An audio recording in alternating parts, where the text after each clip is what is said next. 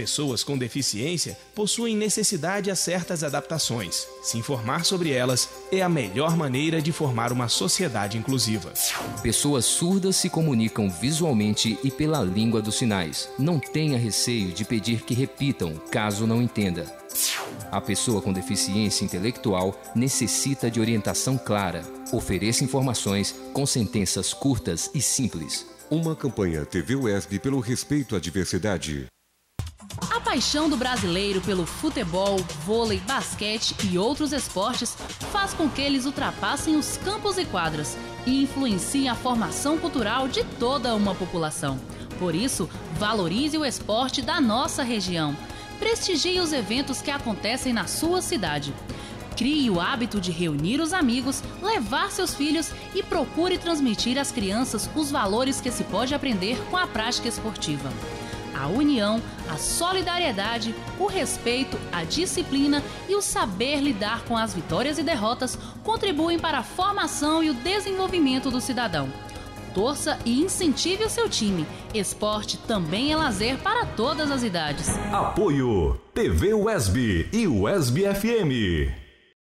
Imagine um mundo onde todo mundo se cumprimentava. Não havia buraco na camada de ozônio ou aquecimento global. Os rapazes abriam a porta do carro e mandavam flores para as moças. Nossa, vovó!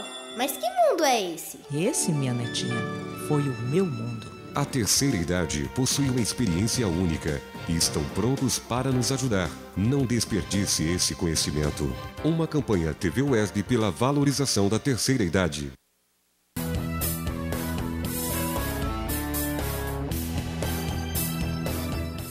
O mundo universitário está de volta. Você já ouviu falar em customização? Além de servir como hobby, ela pode se tornar uma ótima fonte de renda para quem tem criatividade e paciência. Isso é o que vamos conferir agora. Customizar é a arte de personalizar objetos, seja para reaproveitá-los ou para deixá-los diferentes do original. A estudante Lorena Dias é adepta da onda do do it yourself, que significa faça você mesmo, e dá um pouco da sua cara e da sua personalidade para seus objetos pessoais. A princípio, eu já tinha tentado customizar alguns objetos, tipo uma calça que eu gostava muito, não tive muito sucesso.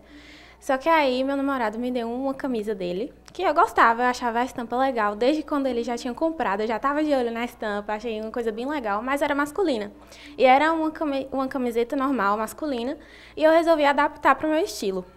O que, que eu fiz? Eu cortei e deixei a blusa assim do, do jeito que eu queria mesmo. E deu certo.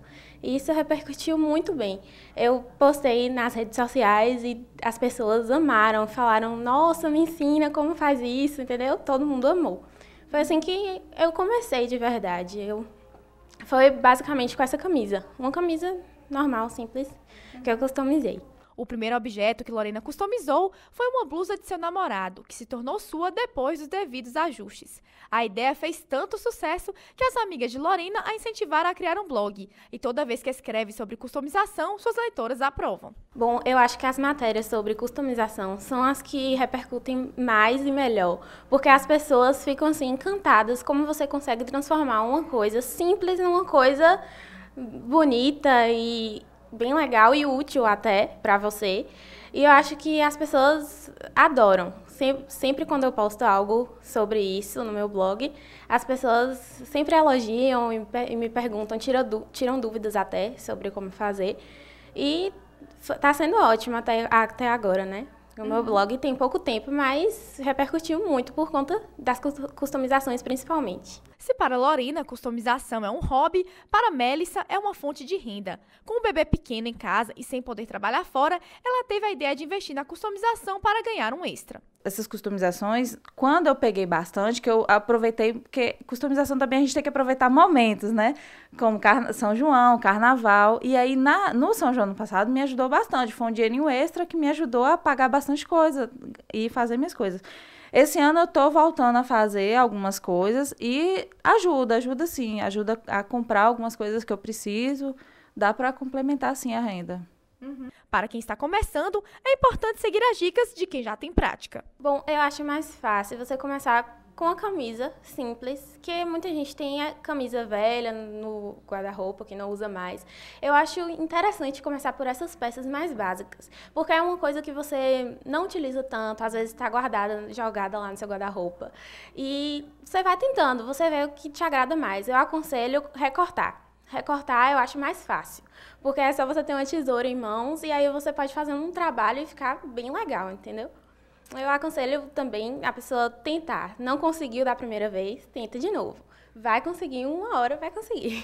Bom, primeiramente, é assim, uma, uma das partes mais difíceis para quem está começando realmente é material porque é, a compra de material para fazer a customização acaba saindo caro e aí quando você vai colocar o valor na peça final do seu serviço acaba ficando é, o lucro pouco para a pessoa. Então para mim foi mais tranquilo porque eu já tinha muito material em casa, então poucas coisas eu precisei comprar, então facilitou bastante. Mas para quem está começando é tentar conseguir retalhos, conseguir com alguém material e tentar vasculhar mesmo loja que encontre material mais em conta, porque o comércio de conquista infelizmente você encontra de de a mesma peça de um real a de 10 reais, de 50 e de 100. É, um, é muito. O contraste dos preços é muito grande de loja para loja. Então você tem que realmente procurar para ver o que fica em conta e ter bom gosto, porque quando você vai fazer uma peça, às vezes a pessoa a, teve uma cliente mesmo que pediu que queria que rasgasse a calça.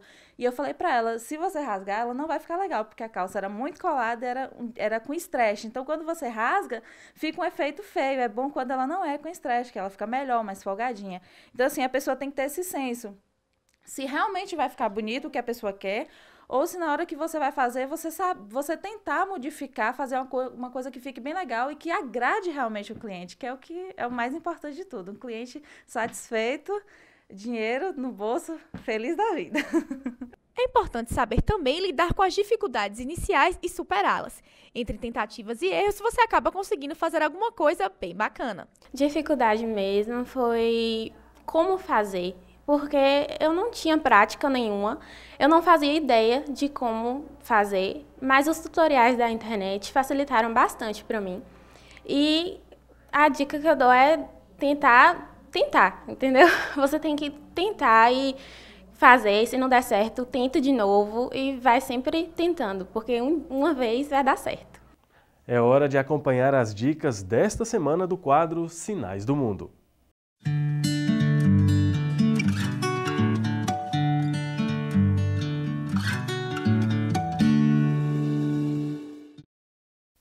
Olá, estamos de volta com mais um programa Sinais do Mundo para vocês e hoje nós iremos aprender alguns sinais relacionados aos meios de transporte. Então, o primeiro sinal que a gente vai aprender hoje é o sinal de carro. Então, tem esse sinal para carro. É como se você estivesse segurando o volante do carro. Carro. Ou tem esse sinal aqui também de carro. Então, repetindo mais uma vez: carro ou carro. E um sinal de moto.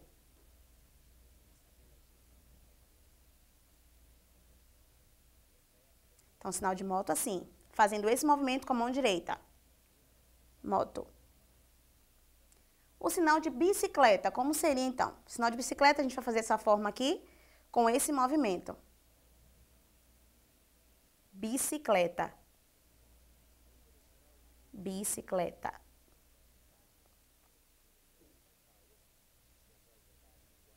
E um sinal de barco, a gente vai fazer essa forma com as mãos, encostando uma mão na outra, fazendo esse movimento como se estivesse deslizando nas ondas do mar.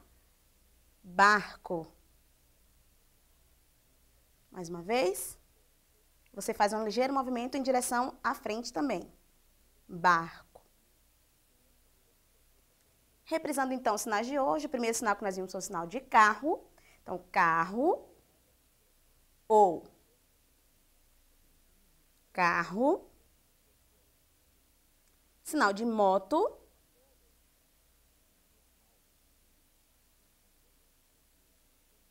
O sinal de bicicleta. É como se você estivesse pedalando mesmo na bicicleta. Olha só o movimento, como faz lembrar uma pessoa pedalando na bicicleta, olha. Bicicleta. E o sinal de barco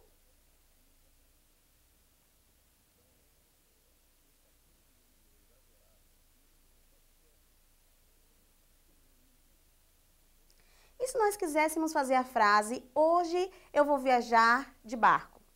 Então, o sinal de hoje seria assim, hoje, hoje, o sinal de viajar,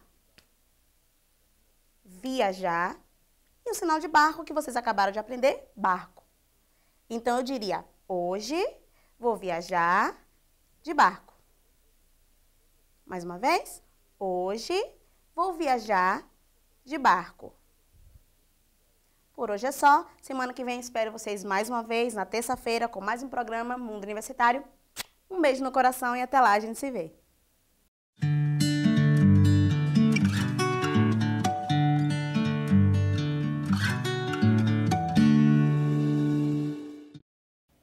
É isso aí, vamos seguir praticando. E o mundo universitário dá uma pequena pausa agora e voltamos logo após o intervalo.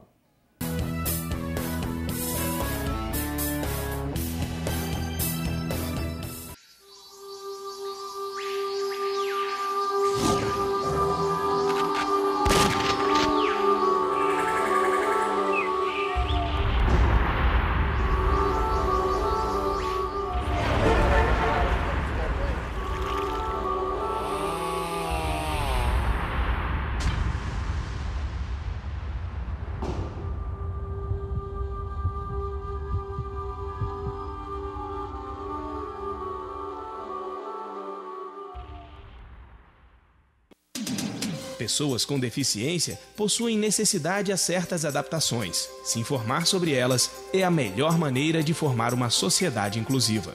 Pessoas surdas se comunicam visualmente e pela língua dos sinais. Não tenha receio de pedir que repitam, caso não entenda. A pessoa com deficiência intelectual necessita de orientação clara. Ofereça informações com sentenças curtas e simples. Uma campanha TV UESB pelo respeito à diversidade.